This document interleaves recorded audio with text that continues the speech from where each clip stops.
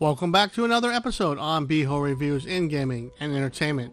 Today we take a look at Australian film from 2020, 2067. Due to the pandemic, the film had issues with its release here in the US and was released to a limited theaters and online as well. With its take on time travel, the viewer ventures into yet another chance at redemption. 2067 was produced by Arcadia and released by RLJE Films in early October of 2020. This science fiction film takes place in a future where the Earth is extremely devastated by climate change, where plant life on Earth is now extinct. Slowly, every country becomes dark and civilization around the globe collapses. One city in Australia has been able to cope with synthetic oxygen to survive. Using synthetic oxygen also yields adverse effects and leads others to getting disease labeled the sickness. While struggling to survive and make ends meet, day in and day out with his wife, Ethan White is called upon to travel in time to solve the current issues and return with a cure for the sickness.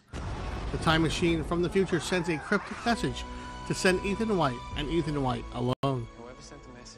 As Ethan's wife is infected as well, he agrees to go to the future in hopes of finding a cure for his wife and hopefully a cure for everyone else.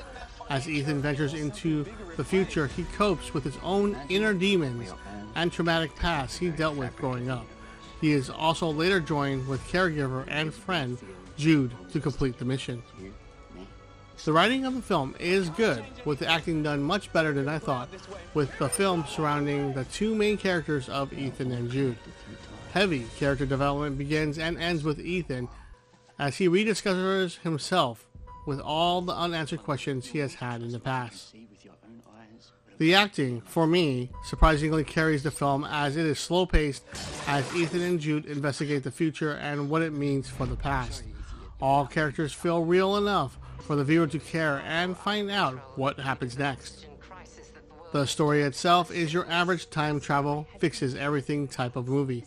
You pretty much know what happens next, but the pacing and acting does keep you in the dark, guessing all the way to the end, but ultimately doesn't surprise you at all. The visuals are both dark, futuristic, and then lush with color, depending on the mood of the film, and works quite well. Although the special effects are on the low end of the film, they are enough to keep you in their world. Just don't expect high levels of action and visual effects in this one. Drama and the dramatic acting in the characters is what truly keeps you around. 2067 gets a 7.0 out of 10 for its good dramatic acting, but fails in telling a more robust story in survival. The film could have been so much more with added discoveries than relying on the spirit of the human race. A good rental for sure, but something you have seen before and does not improve on. That's it for me on this episode on reviewing 2067. Please like and subscribe if you like my videos. Beho out and Greg take us out of here, and I will see you all next upload.